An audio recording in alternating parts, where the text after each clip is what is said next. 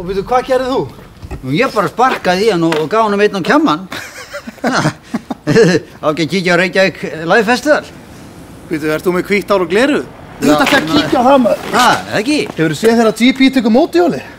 Já, vann, vann, vann, vann. Hann kann ekki að taka mótihjóli. Ha? Hann kann það ekki. Nei, en hvernig? Hann tekur aldrei byrjun. Maður fer á mótihjóli, startar þessu kveikinu og...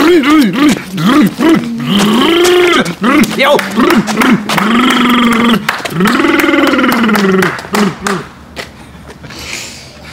Þú er komin?